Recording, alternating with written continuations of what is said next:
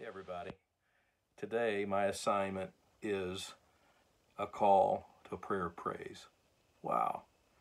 Immediately, the words of a hymn come to mind, an opening chorus that says, Where shall I the song of praise begin? What an incredible topic, praise. Praying with praise.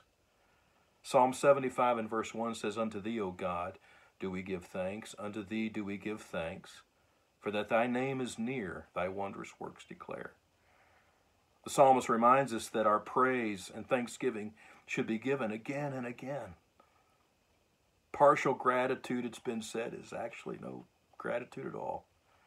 For infinite goodness, there should be measureless thanks. True faith responds in our time of need. And it's mostly realized when it's laced with praise to God, the confidence and the infinite grace of a loving God. In reality, we realize that in praising God, He is near us.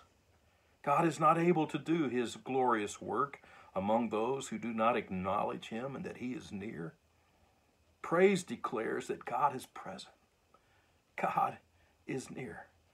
You see, we do not sing of a hiding God. We do not pray as if our God is on some distant journey far from us. We do not worship as if he doesn't see see us at every moment.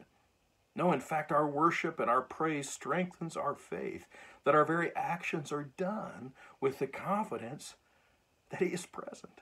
He's with us. He is near.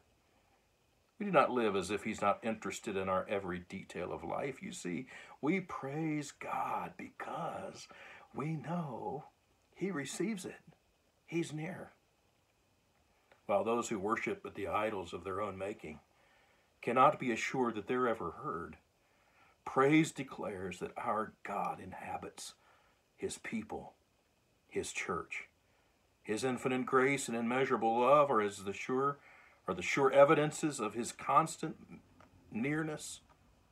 The Bible says, even to the ends of the world. So let our prayers be symphonies of praise, as admonished in Psalm 150.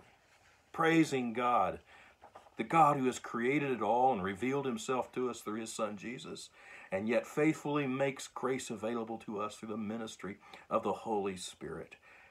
May it truly be, unto thee, O God, do we give thanks. Unto thee do we give thanks. For this is the promise. Where there is praise, there is God.